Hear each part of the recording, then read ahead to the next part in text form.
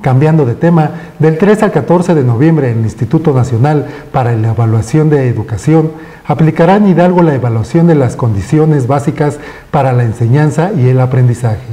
En 57 planteles de educación básica, así lo dio a conocer la directora de Evaluación y Procesos Educativos de la Secretaría de Educación Pública en Hidalgo, Lee Eisen Abregón Fuentes, quien destacó que la ESEA busca conocer las condiciones y formas de operar de las escuelas. La funcionaria del sector educativo destacó que con esta evaluación se pretende conocer las condiciones básicas de convivencia escolar,